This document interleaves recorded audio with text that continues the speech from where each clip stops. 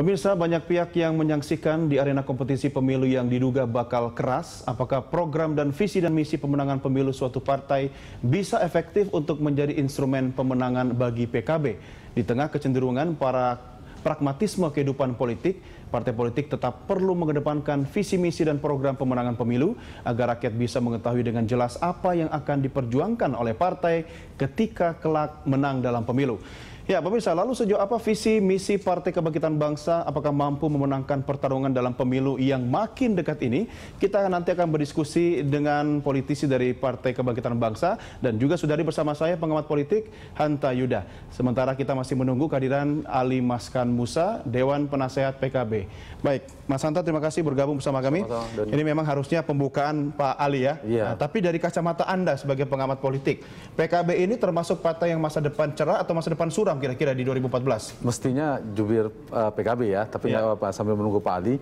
Uh, PKB menurut saya bukan yang termasuk yang masa depannya curam sekaligus cerah. ah. Oh, oh begitu? Iya, Eh, bukan agak yang suram ini. tetapi juga bukan yang apa cerah karena kalau berdasarkan ter- kita tracking hasil-hasil survei uh, PKB ada salah satu partai yang memiliki uh, stabilitas suara relatif relatif flat ya dibandingkan hasil pemilu 2009 yang lalu. Hmm. Tapi kalau misalnya kita berkaca pada PKB dibandingkan pemilu 99 dia masuk di tiga besar Hmm. lalu uh, 2004 cukup signifikan suaranya kemudian turun lagi di pemilu 2009 kemarin turun lebih drastis lagi perolehan suaranya kalau tidak salah sekitar 4,95 persen. Iya, Jadi uh, yang harus diantisipasi oleh PKB adalah ada tren yang kian turun sebenarnya. Kalau ini turun lagi, PKB bisa tidak lolos presidensial apa namanya parliamentary threshold. Threshold.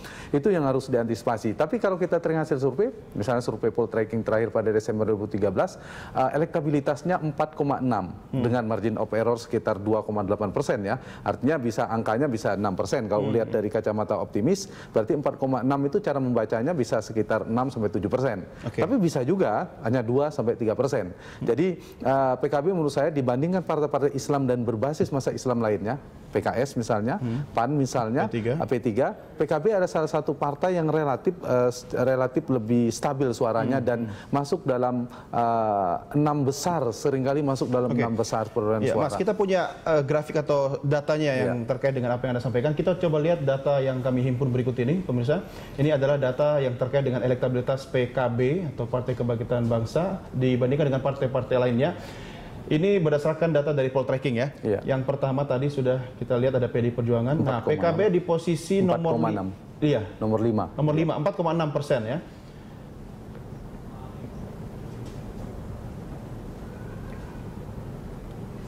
Ya, kalau ini tadi PDI Perjuangan 26,7 persen, Gerindra 26, ini dari Bukan sumber tracking Ines ya. Oke. Kemudian Hanura dan Nasdem. Nah, kalau dari sumber yang ini PKB ternyata tidak mendapatkan posisi. Kalau tadi dari poll tracking masih juru Iya. kunci di lima besar gitu Di kan. lima besar 4,6 persen. Iya, tapi tadi, ah, oke sekarang ini adalah data dari Pusat Data Bersatu PKB menempati posisi juru kunci. Nomor 5 juga ya. Ya, tidak jauh-jauh beda dengan poll tracking tadi lah ya. Ada satu lagi, kita punya data masih menyangkut elektabilitas parpol. Di manakah posisi Partai Kebangkitan Bangsa? Oke, ini visi dan misinya. ini nanti Pak Ali yang lebih bisa Baik. menjelaskan.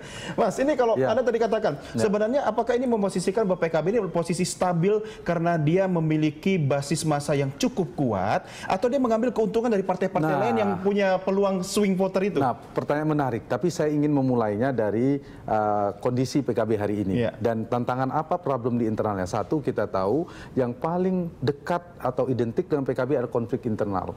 Jadi ada ancaman faksionalisme. Kita tahu ada uh, Muhaimin Iskandar Hmm. Iya. dan Mbak Yeni Wahid Iya. misalnya. Itu kan mengganggu infrastruktur partai. Dan belum selesai sampai sekarang. Hmm. tantangan pertama satu itu.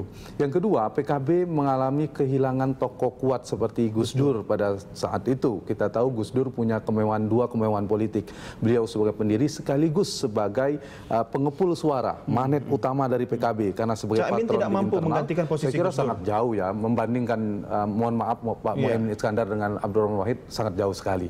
Uh, uh, kemudian gini, Mas, walaupun tidak bermaksud dari magnet ya, gitu, uh, tapi apakah posisi yang memang sebelumnya itu magnet ada di Gus Dur, tapi kan partai ini berkembang menjadi partai modern seharusnya. Betul, betul. Nah, saya ingin mengatakan ini perilaku pemilih ya. Kan party ID kita kan semakin turun. Uh, pemilih yang teridentifikasi terhadap partai itu kian turun kan, hmm. 19 persen dan terakhir 17 persen. Tetapi uh, pemilih yang merasa teridentifikasi atau tingkat kesetiaan kepada figur itu menguat. Itu poin yang ingin saya katakan. Nah, PKB kehilangan figur kuat oh. di 2009 uh, yang lalu. Hmm. Dan itu yang antisipasi yang kedua. Yang ketiga adalah terdiasporanya kekuatan uh, basis uh, PKB yaitu NU. Karena kita tahu ketika berdiri, ketika lahirnya PKB itu sangat didentik sekali, hmm. dekat sekali, terasosiasi kuat dengan PKB. Yeah. Tetapi makin kemari semakin melemah karena hmm. PKB eh, apa namanya NU juga ada di Golkar, yeah. ada di mana, apalagi tokohnya juga tidak sekaligus mendukung. Nah, berangkat dari tiga hal itu untuk menjawab pertanyaan Mas Doni tadi, yang pertama adalah apakah PKB berhasil mencari figur baru pengganti hmm. uh, Gus Dur misalnya, meskipun ada nama Pak Yusuf Kala yeah. dicapreskan, ada Roma Irama, kemudian ada Pak Mahfud MD, hmm. itu upaya bagi bagian dari ikhtiar strategi hmm. politik PKB ya dan itu sah-sah saja tapi perlu diukur sebagai sejauh mana efektivitasnya. Yang kedua, uh, konflik internal relatif bisa diantisipasi oleh PKB. Sudah sudah meredam tetapi di, di sisi yang lain sebenarnya mengurangi potensi itu. Paling tidak ya pendukung-pendukung dari keluarga Gus Dur misalnya Mbak Yeni dan seterusnya itu juga hmm. sedikit berpengaruh saya. Hmm. Dan yang ketiga adalah uh, basis NU memang betul barangkali tidak begitu kuat lagi ke PKB tapi di saat yang sama PKB sebenarnya mendapat mendapatkan basis baru menurut saya swing voters dalam istilah yeah, Mas yeah. Doni tadi untuk mendapatkan bergeser semakin ke tengah misalnya kita lihat ketika Rusdi masuk ya Rusdi yeah, Kirana masuk Kirana. Kirana masuk ke PKB menunjukkan kepada publik bahwa PKB semakin bergeser mm -hmm. ke tengah atau dalam istilah lain ada uh, proses modernisasi yang dilakukan oleh PKB jadi itu biasa ya dalam dinamika politik apakah mampu basis berkurang mengangkat. tapi di saat yang iya, sama iya. dia dapat basis baru betul, bisa betul. jadi tapi nggak ada jaminan juga kan Mas Santa ketika misalnya sosok seperti Rusdi atau mungkin ada perubahan paradigma dalam organisasi PKB itu sendiri mampu untuk menggait orang-orang yang selama ini masih bimbang memilih Kalau partai? saya melihat dari Pak Rusdi memang bukan faktor iya, figur iya. yang kuat, tetapi barangkali saya tidak langsung bisa membantu. Misalnya logistik, politik, kan iya. kan ada empat variabel saya selalu mengatakan yang menentukan fluktuasi kekuatan elektabilitas sebuah partai. Satu, magnet elektoral partai itu, itu bisa institutional brandingnya, atau yang kedua uh, personal branding, ada figur iya. kuat di sana seperti SBY dan Demokrat. Yang kedua adalah faktor perilaku pemilih, basis basis pemilihnya seperti apa, perilaku pemilih menginginkan apa, apa sejalan dengan yang dibawa ide yang dibawa oleh partai itu, isu yang dibawa oleh partai itu. Hmm. Yang ketiga adalah efektivitas dan efisiensi mesin politik yang digunakan oleh partai itu dan keempat adalah dukungan logistik. Nah, nah di titik ini menurut saya PKB masuk sebenarnya, bisa kan? masuk dan kelemahan dari selama ini partai Islam berbasis masa Islam saling tidak punya figur kuat ya hmm. PKB, PAN, PKS hmm. dan P3 figur kuat misalnya dibandingkan di PDIP, di Golkar hmm. misalnya.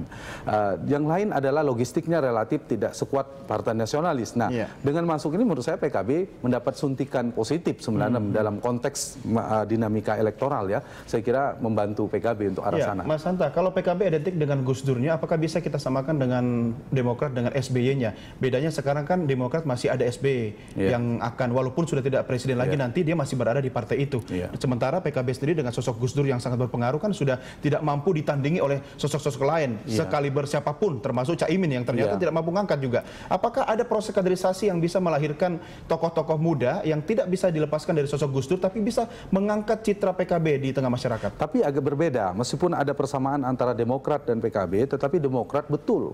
Yang paling dominan menjadikan kekuatan elektoral Demokrat itu magnet utama adalah Pak SBY. Walaupun ada ada pengaruh dari efisiensi apa namanya tingkat kepuasan publik terhadap kinerja pemerintah, bisa jadi karena efek dari persepsi publik terhadap partai itu yang bersih anti korupsi jam 2009. Ya, nah, ya. kalau PKB kalau PKB menurut saya sudah terlihat ya ketika ada penurunan drastis di 2004 ke 2009 yeah. bahwa ada figur Gus Dur yang mempengaruhi. Mm -hmm. Tapi uh, PKB juga punya basis, itu bedanya. Dibandingkan Demokrat menurut saya dia punya basis. basis masa PKB yang NU itu tadi. Istilah kita adalah basis masa tradisionalnya. Tradisional, Salah ya. satunya NU, meskipun tidak semua NU itu ke PKB karena terdiaspora tadi maksud saya. Dia punya basis inti. PKB itu punya basis inti. Jadi ada basis pendukung Gus Dur, tapi ada juga basis NU yang belum tentu dia sejalan misalnya dengan apa namanya uh, preferensi politiknya kepada Gus Dur ya. Hmm. Saya kira uh, yang jelas PKB relatif punya basis masa tradisional apakah jumlahnya masih banyak atau tidak itu yang perlu perlu didalami lagi menurut saya yeah. tidak sekuat ketika era Gus Dur masih yeah. ada. Nah, yeah. sekarang ada upaya ikhtiar dari PKB adalah memunculkan figur pengganti, hmm. bukan pengganti Gus apa pengaruh ketua dewan pembina, bukan pengganti magnet simbol hmm. atau atau apa namanya? Walaupun kekuatan magnetnya tidak sebesar Gus Dur, tapi magnet-magnet ini diperbanyak. Ada Roma Irama, yeah. ada Yusuf Kala dan Mahfud MD. Mahfud yang saya baca seperti itu okay. ya upaya. Kita akan bahas soal itu di segmen berikutnya Mas Hanta. Pemirsa tetap bersama kami, kami segera kembali sesaat lagi. Terima kasih masih bersama kami dan pemirsa sebelum kita lanjutkan dialog saya ajak Anda untuk menyimak grafik yang berikut ini. Ini adalah tema sentral pemilu tahun 2014 di mana kita lihat bahwa pemenangan pemilu untuk memperkuat politik kebangsaan Nahdlatul Ulama. Kalau kita bicara tentang Partai Kebangkitan Bangsa, pemirsa, kemudian kita lanjutkan dengan tema pendukung pemenangan pemilu di tahun 2014 yaitu penguatan demokrasi untuk mempercepat kemakmuran masyarakat desa kemenangan PKB untuk memperkuat perlindungan kepada petani dan nelayan, dan kemudian kemenangan PKB untuk mempercepat pembangunan daerah tertinggal. Kemudian untuk menciptakan buruh yang sejahtera dan kebangkitan PKB untuk meningkatkan keterlibatan kaum perempuan pada sektor strategis. Ya, pemirsa bersama saya sudah hadir Ali Maskan Musa, Dewan Syuro Partai Kebangkitan Bangsa. Assalamualaikum Pak Kiai. Sehat? Sehat walafiat. Iya, justru Anda yang kita tunggu-tunggu sekarang. Tadi sama Mas Santa ya. sudah kita bongkar semua PKB. Iyalah. ya, ya lebih tahu dia lah. Ya, tapi pertanyaan yang sama Pak Ali, apakah PKB masih menjadi partai yang masa depannya cerah 2014 atau masa depan suram ini? Iya, kita punya harapan jauh lebih baik lah daripada 2009 yang waktu itu konflik yang ya. berkepanjangan. Sehingga eh, 2014 ini kita yakin lebih baik lah. Hmm. Konflik sudah selesai? Ya selesai, mana ada politik itu kan ring tinju mas, mana bisa selesai, nothing lah, tidak mungkin, impossible. Iya, iya. Tapi yang yang paling tidak hari ini memang PKB ini yang mendirikan kan memang NU. Yeah. Walaupun waktu itu disiasati, tidak istilahnya tidak mendirikan, membidani lahirnya hmm. uh, partai yang yang digagas oleh warga Nahdlatul Ulama. Makanya eh, deklaratornya semua kan pengurus PBNU, Gus Dur masih ketua umum, Betul. ya, ya di uh, Roy Surya, ya Monasir, Gus semua semuanya itu pengurus hmm. NU.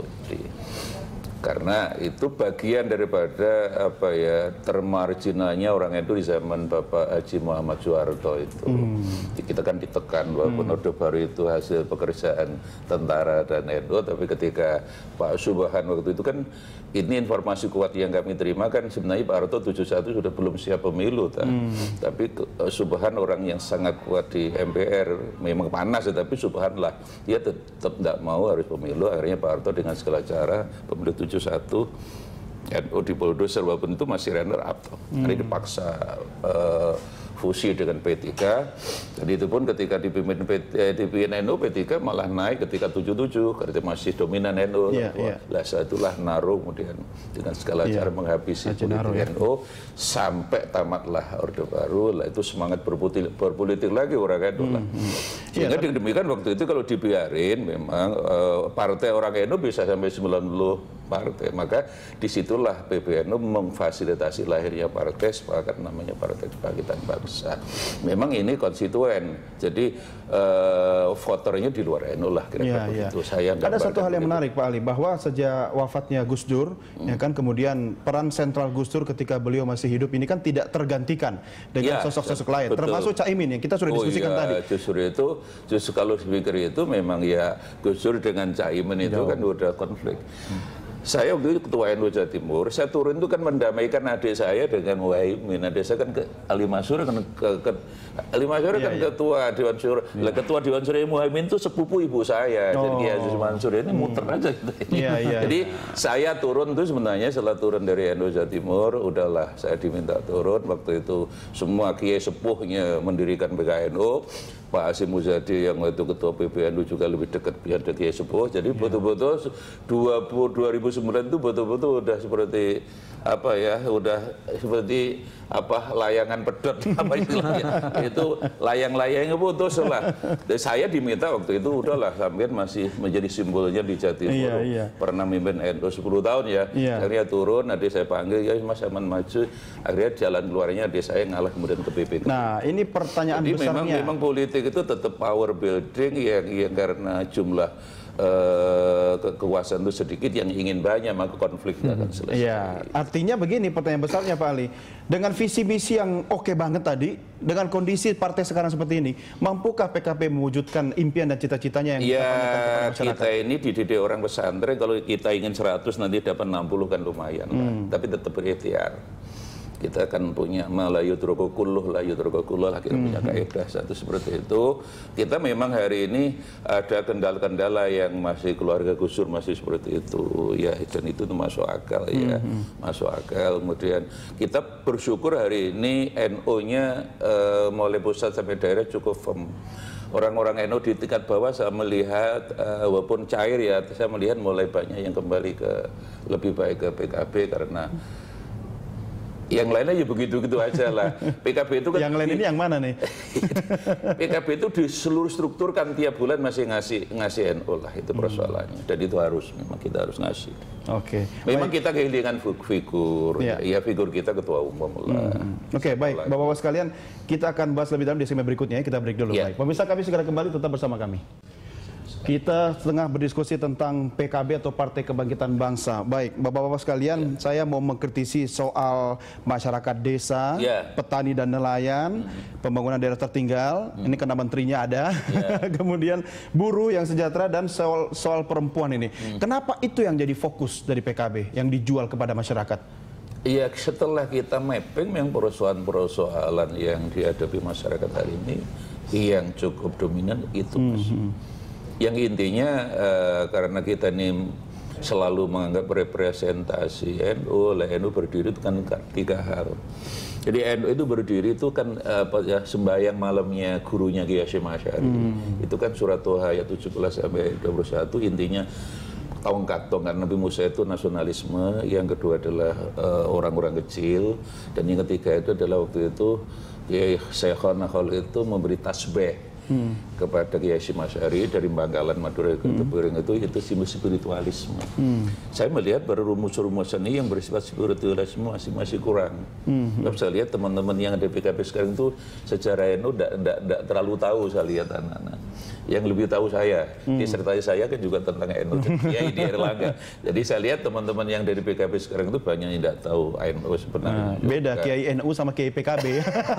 saya tidak ngerti sampai hari ini. Jadi itulah kalau kita pikir tema besar NU itu ketika waktu saya masih jadi ke- wakil ketua NU Jawa Timur ketika merumuskan mabda siasi Hmm. prinsip-prinsip politik NU itu kan semua semua pengurus wilayah se Indonesia kumpul di Bandung mas. Hmm. Iya, iya. Yang merumuskan itu saya Mas Slamet, Lukman Hudsin karena waktu itu kan sudah mau masuk PKB semua. Ah. Tapi terakhir karena ya Mas Slamet mungkin dengan Gus Dur tidak diberi tempat, Lukman juga tidak diberi tempat akhirnya kembali pada Oke. rumah lamanya. Ya, Mas Hanta, ini dari kacamata Anda bagaimana ini? Soal krusial masyarakat desa itu penting, petani nelayan dan soal perempuan ini kan mendapatkan peran strategis. Kalau kita bercermin dari PKB ini, apakah memang PKB sudah menempatkan kaum perempuan dalam posisi strategis di internal PKB sendiri? Baru kita bicara bangsa. Ya, kalau pilihan isu itu memang kalau berdasarkan hasil-hasil survei yang paling dibutuhkan publik atau pemilih adalah isu tentang kepedulian dekat pada rakyat. Persoalan apa ketika kita tanya kepada publik yang paling mendasar bagi masyarakat sekarang soal harga kebutuhan pokok. Jadi persoalan ekonomi kesejahteraan itu persoalan Tidak ada satu. pemberantasan korupsi. Baru soal pemberantasan korupsi yang kedua. Oh. Hasil survei kita nomor dua baru pemberantasan korupsi dan penegakan hukum. Iya, nomor iya. satunya tetap ekonomi.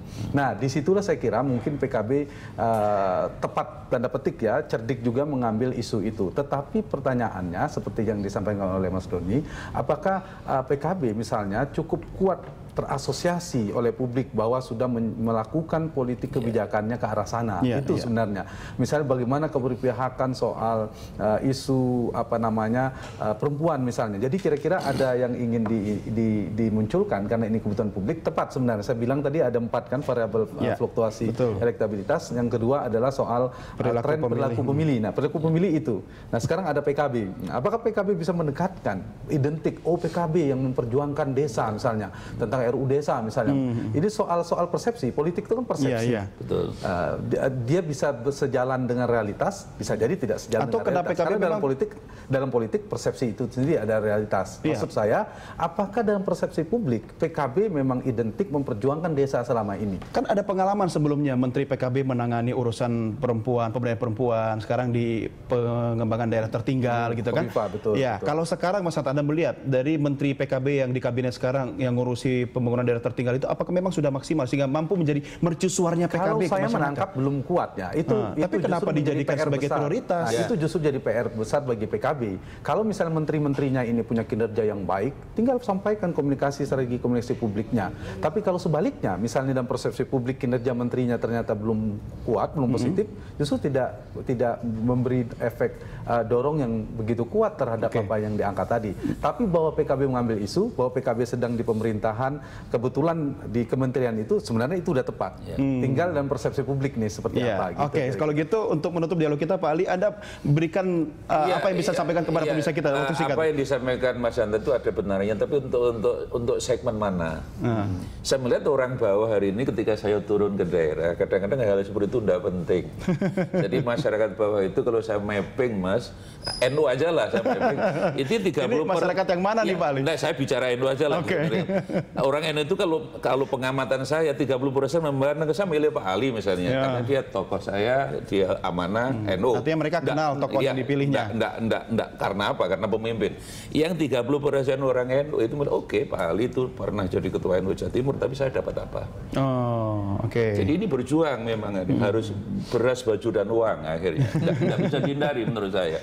Iya, iya, Enggak bisa dihindari. Kemudian yang terakhir yang 40 persen saya melihat warga NU juga enggak jelas itu. Hmm, ini yang bisa diperebutkan, Ini yang termasuk dengan partai lain. Nah, itu yang saya. tadi saya Ah, katakan. Tapi gede loh 40% itu, Iya, Pak. iya, itu yang memang hari ini harus disapa. Hmm. Jadi calon-calon dari PKB itu turun ke bawah itu Iya. kadang enggak, enggak pusing dengan misi-misi itu mereka Sama figur-figur Iya. saya katakan. Figur, ya. ya. Ya figur-figur, misalnya Mahfud. JK kemudian eh, Roma Irama katakan misalnya, itu Iya. mampu nggak kira-kira? Dari elektabilitasnya belum kuat ya, tapi Pak Mahfud misalnya kalau terus didongkrak ada potensi. Iya. Tetapi Hmm. kalau mau jujur dibandingkan figur lain di partai lain, saya sedang membandingkan semua partai masih relatif Masih jauh ya. Oke, Mas nah, Hanta. itu menjadi PR. Singkat PKB saja. Untuk 2014 legislatif, di mana posisi PKB?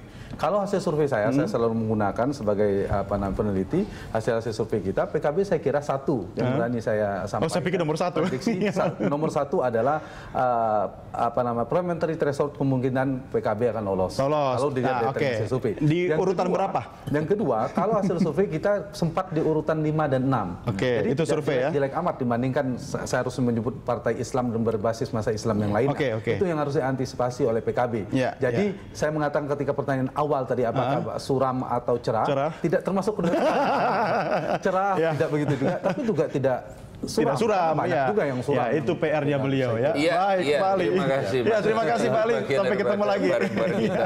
Inilah Mas Hanta, terima kasih. Ya gampang-gampang sulit lah politik.